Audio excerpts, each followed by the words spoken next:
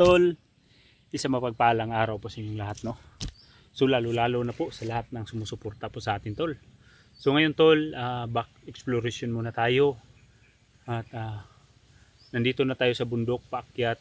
Papasok po sa location kung saan po yung video na nakikita natin kay uh, kay Kyung Adventure tol. Uh, dahan natin babayin tol papunta sa location kung saan natin siya nakikita. At yun tol, uh, yun no, uh, hindi ako nakapag nakasama sa Lucky Badge yung sa mga team po. Kasi may kunting problema tayo sa amin pero uh, hahabol na din tayo tol kasi uh, masaya ako ba na uh, kahit hindi pa natin nakikita si Kyung pero nakawala siya sa uh, kamay ng mga bandido o sa armadong grupo ng tol. So yun tol, uh, shout out no, shout out kay ma'am. Uh, ano ba yun? Kam Ati Ati Maria Gris Giverson, shout out sa iyo. Mami Janice Alcalde, shout out sa iyo. Mami Nur Abdurrahim, shout out sa iyo. Ay uh, ano pa ba 'yan? Pang so yun tol, kalimutan ko. Salvasyon, Ma'am Salvasyon, shout out sa iyo. At kamong sa sa sa. Shout out sa inyo, Ma'am. Shout out sa lahat. Uh, shout out sa lahat no na mga kapinuno natics natin diyan, mga kapinuno pamilya. Shout out po sa inyong lahat. So sana po, sana uh, samahan niyo ako no hanggang sa dulo po nitong video. At sana po tol, ngayon na araw uh, sa paglalakbay natin dito sa bundok, uh, makikita natin si Kyung at yung iba pang nating mga kasamahan para madali natin silang maisalba tol ba? Si at yun tol uh, may baon po ako dito naka full pack po tayo. Kasi may mga dala ko ditong butin pagkain. At marami akong dala dito tol. Biskwit tubig. Baka sakali tol na matagpuan natin si Kyung o may, may bigay tayo siya ng pagkain ba?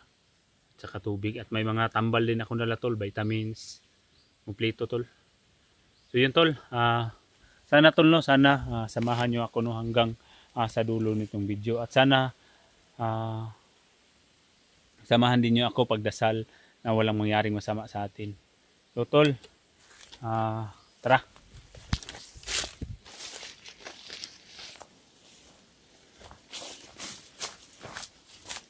Para ni. Tol no. Uh, nahabol tayo sa ating sa dito sa bundok para ma-rescue yung kaibigan natin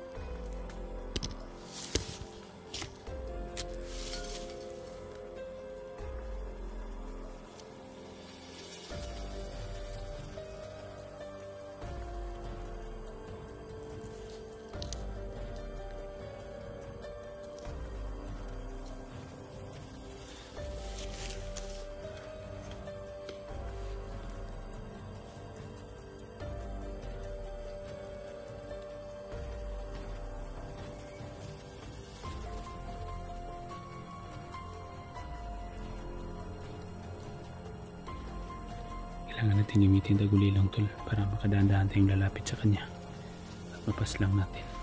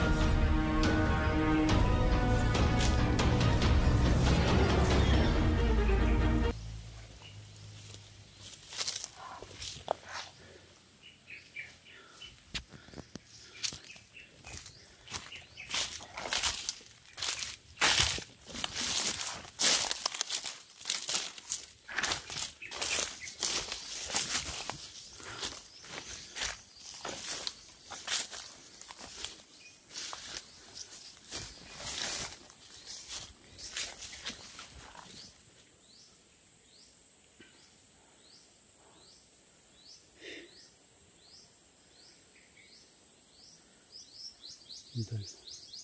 Silent kill moves na muna gagamitin natin. Ha, parang hindi tayo madali.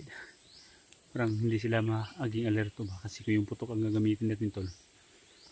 Ma-alerto po sila.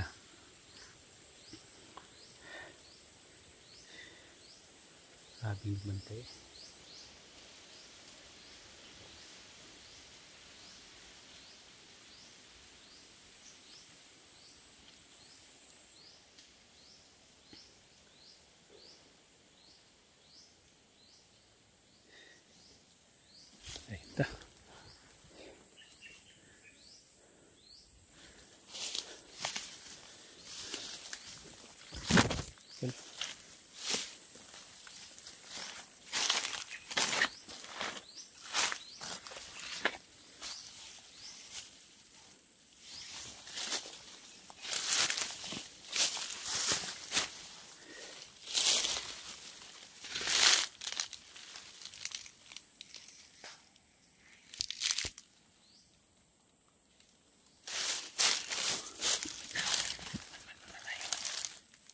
Masid muna tayo tol.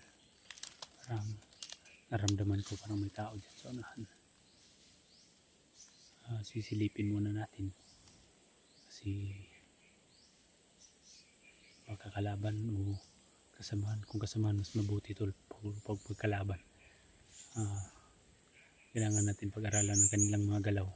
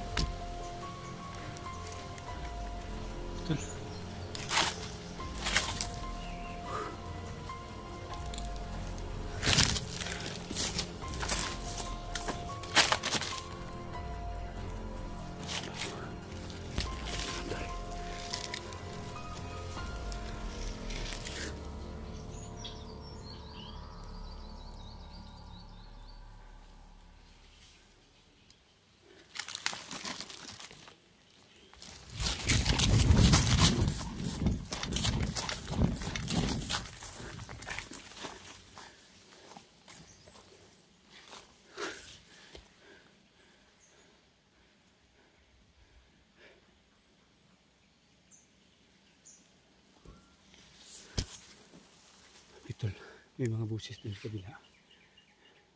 May mga aso pa. Tapos, dami po ang dumating ng mga kalaban.